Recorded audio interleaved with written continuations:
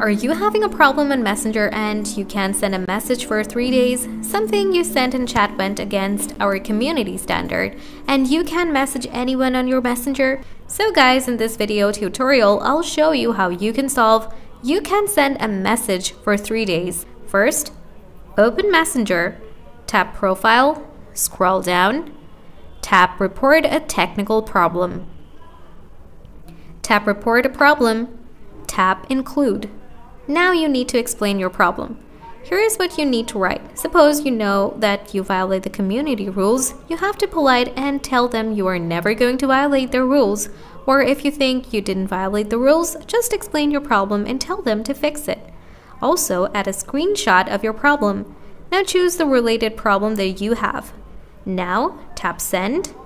Now your problem has been reported and they are going to solve your problem as fast as possible. Now, if they agree, they're going to allow you to message others. But if they disagree with your request and think you did something terrible, you'll need to wait 72 hours. After that, your problem will be out of fix.